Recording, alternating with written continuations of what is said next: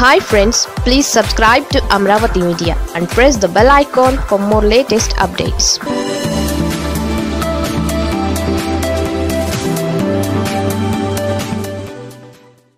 ఉద్యోగులకు Sajjala silent warning work out అవుతుందా? క్రమశిక్షణ చర్యలు. ఏపీ ప్రభుత్వ సలహాదారు సజ్జల రామకృష్ణారెడ్డి ప్రసంగంలో ఇది చివరిలో వినిపించినా ఇదే హైలైట్ అయింది. ట్రెజరీ ఉద్యోగుల మెడపై కత్తి పెట్టలేరని సహాయ నిరాకరణ అంటూ వారు పని చేయకపోతే సమ్మె నోటీస్కి అర్థం లేదని స్పష్టం చేశారు సజ్జల. అంటే సమ్మె నోటీస్ ఇచ్చిన తర్వాత ఆ నోటీస్ పీరియడ్లో ఖచ్చితంగా ఉద్యోగులు పని చేయాల్సి ఉంటుంది. అప్పుడు సహాయ నిరాకరణ పెన్ డౌన్ డౌన్ డౌన్ అనేవి కుదరవు. మరి సమ్మె నోటీస్ ఇచ్చిన తరువాత కొత్త పీఆర్సీ ప్రకారం బిల్లులు పెట్టలేమంటూ ట్రెజరీ ఉద్యోగులు చెప్పడం సరికాదనేది సజ్జల వాదన. ఉద్యోగ సంఘాలతో చర్చల కోసం ఒకరోజంతా సజ్జల టీం వెయిట్ చేసింది. కానీ ఉద్యోగ సంఘాల నేతలు మాత్రం నేరుగా జీఏడీని కలిసి సమ్మె నోటీస్ ఇచ్చారు.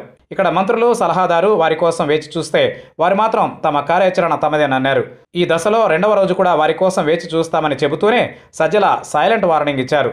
క్రమశిక్షణ అనే పదాన్ని వాడేశారు. అంటే ప్రభుత్వం కూడా కఠినంగానే ఉంటుందని విషయాన్ని చెప్పకనే చెప్పారు. అయితే పరిస్థితి అంత దూరం రాకుండా ఉంటే బాగుంటుందని కూడా అన్నారు సజ్జల. ప్రభుత్వం మాత్రం ఉద్యోగుల పీఆర్సీ డిమాండ్లకు తలొగ్గేలా లేదనే విషయం స్పష్టమైంది. అటు కోర్టులో న్యాయ పోరాటం జరుగుతోంది. ఇటు ఉద్యోగులు బయట ధర్నాలు నిరసనలు అంటూ రోడ్డెక్కుతున్నారు.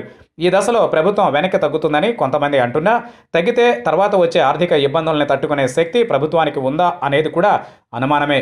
ఉద్యోగుల లాజిక్కి సమాధానమేది? కొత్త పీఆర్సీతో జీతాలు పెరుగుతాయనేది ప్రభుత్వం వాదన. కాదు తగ్గుతాయనేది ఉద్యోగుల ఆరోపణ.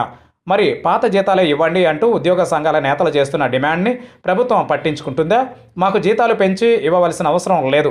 పాత జీతాలతోనే సరిపెట్టుకుంటామంటుంటే ప్రభుత్వం ఎందుకు వారిని అర్థం చేసుకోవడం లేదు? అంటే పాత జీతాలే ఎక్కువ కొత్త జీతాలే తక్కువ దీనిపై ఎవరూ పూర్తిగా క్లారిటీ ఇవ్వడం లేదు.